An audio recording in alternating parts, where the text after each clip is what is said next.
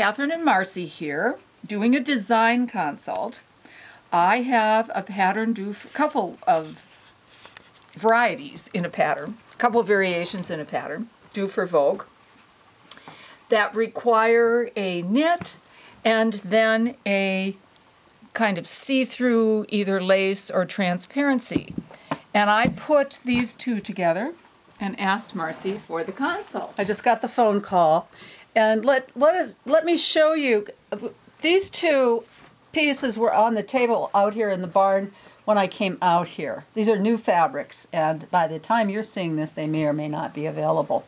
Now again, we can't show you the whole garment, but just to give you a little peek, because this is going to be a Vogue pattern, it's a little it's a little t-shirt, and it combines different fabrics, and that's where this this um, burnout might be really great for the back piece. But then I went into our stash and I pulled out a couple of other possibilities, which Katherine is going to show you. Um, one of them is this stripe. So now you get the shot of all three. And then here is another stripe, um, which I'm actually, I'm leaning toward this particular stripe because the main body of the garment will be this shibori, and it's got gray in it, and it kind of pulls the gray together. And then Katherine said something really cool. So then I'm thinking I really like this one in here before, and I and I didn't before. I like it in there now, but I there's a piece on the front, a contrast piece or a, a cut pattern, separate pattern piece on the front of this t-shirt and I would like to play with inlaying this stripe vertically in that piece. And another thing that I'm thinking of um, that with this particular stripe, which I like and may or may not show up on film, is that the backside is a little bit more blurry than the front side. So you can use either or both sides and I think on the sleeve treatment on this, I love the way this rolls. Oh, yeah.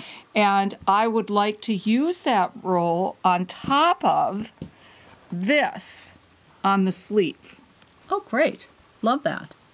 And I'm going to add one little um, Techno Weenie sewing tip, and that is um, let's let's test, Kath. Let's test the stretch on this fabric. So there's the crosswise stretch. It's got it's got some cross grain, not, not much. You yeah. can see by the way these stretch.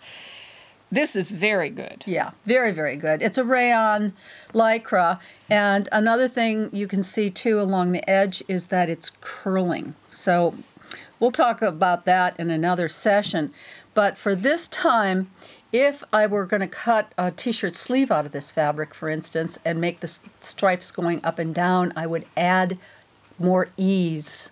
Um, that means cutting the seam allowance one inch or a little more on top of what you're already using, and then that gives you um, what Sandra Betzina refers to as seam insurance. So you can fit it and, and make it the size that you want to depending on the fabric. And I will tell you that from my own experience that you should always do this because I forget sometimes. And some of my sample shirts have really tight sleeves. So, some good uh, knit tips and reminders, and a preview peek at, at an upcoming Katherine Tilton pattern. Thank you. Bye.